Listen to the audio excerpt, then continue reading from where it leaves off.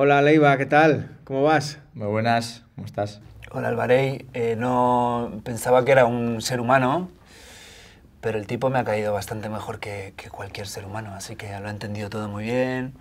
Sí. ¿Habéis disfrutado? Bueno, le he enseñado tres o cuatro cosas y yo creo que el tipo las ha entendido muy bien.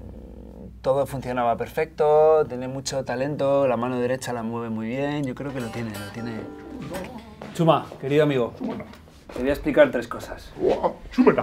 Hay tres tipos muy importantes que te tienes que aprender no a tocar como ellos, pero sí a moverte como ellos, ¿vale? Son las tres patas del rock de nuestra dimensión. Correcto.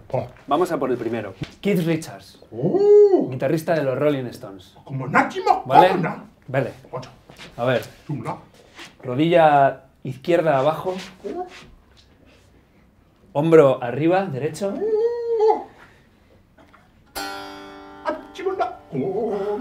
Y acaba con el puño en la cabeza.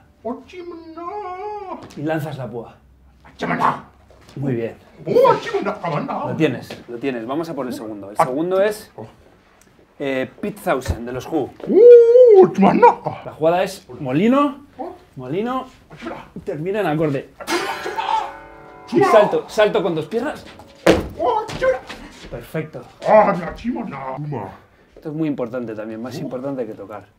Cuernos en alto. Perfecto, Chuma.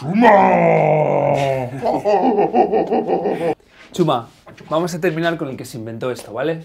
Todos los que vinieron después le copiaron hasta la saciedad, incluido yo.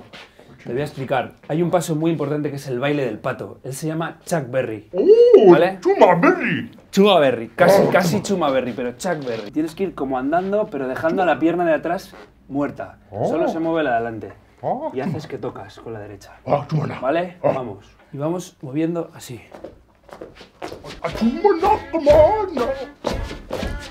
Perfecto. ¿Lo tienes claro? Dame un abrazo. Perfecto. Perfecto, Chuma.